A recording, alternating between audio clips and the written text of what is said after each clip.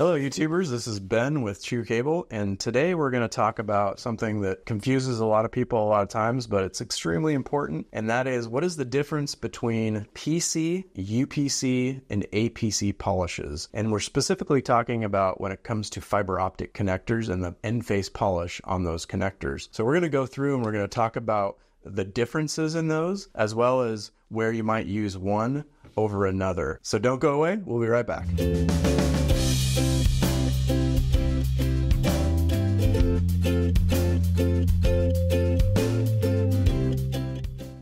So, as we mentioned, we want to talk about the differences between PC, UPC, and APC polish connectors. Three different types, but really the most commonly used now are UPC and APC. And I have here an APC type connector. This is an SC type connector, as well as this LC connector, which we'll call that a PC connector. And then we have this ST style connector, which has a UPC polish on it. So if we think about these differences between these, really the first type of polish that came out was a PC polish. And the PC polish was really designed for better back reflection when testing fiber optic connections. And really where that makes a difference is when two connectors are plugged into each other directly, point to point what happens is there's an air gap there. And so having the, the polish flat and uh, very clean creates less back reflection. And so the higher the number on the back reflection, the better the connector actually is. So if we look at PC,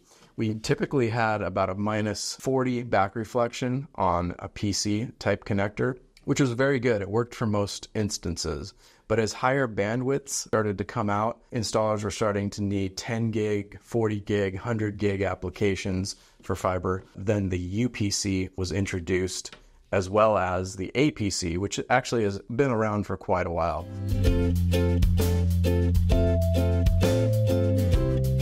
Now, there's a big difference between PC, UPC, and particularly the APC. The UPC and the PC polish connectors are quite similar, except for the newer UPC, which again, that stands for ultra physical contact connector, has kind of a curvature on the end face of the ferrule. And that curvature on the end face of the ferrule allows for a much better back reflection versus the PC. The PC, which stands for physical contact, is generally not even used in most cases anymore in fiber installations. But the real big difference difference, and the one that stands out between the two is the APC, which stands for angled physical contact. And the reason it's uh, called angled physical contact is because that end face ferrule has an eight degree angle on it. Why is that important? Well, the importance of that is that when those two connectors mate, they actually create eight degree angle as mentioned, and that allows for really, really low back reflectance. That is very important when it, we're talking video signals, when we're talking really high data rates, and when internet service providers need to transmit high internet data signals and video. So that's where those really come into play.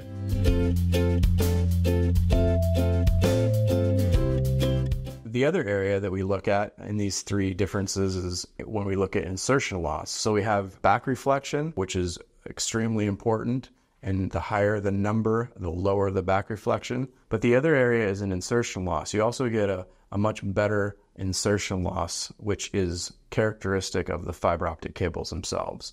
And the better the insertion loss, the more distance you can go, the more bandwidth again you can transmit over that fiber from transceiver to transceiver. So that's just a little bit about the difference between PC, a UPC, and an APC polish.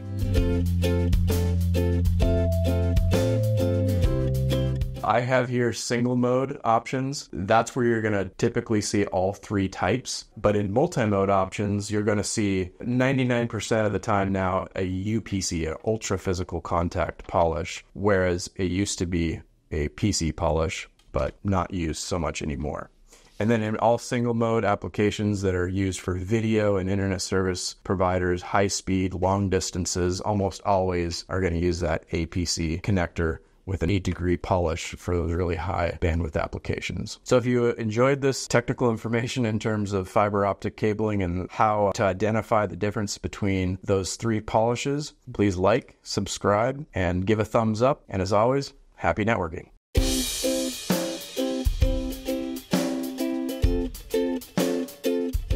Thank you very much for watching the video. You may not be aware of it, but we also have extensive blogs at our Cable Academy, 200 plus and counting. Most of the videos that you actually see here on YouTube are in fact embedded in a blog, which is far more detailed in regards to photography and descriptions. So I strongly recommend you head over to our Cable Academy, truecable.com, and check it out.